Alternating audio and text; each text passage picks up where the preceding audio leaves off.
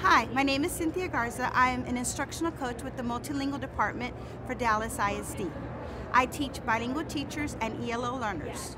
I teach because I want to make a difference. I teach because language should not be a barrier. I teach because I make a difference.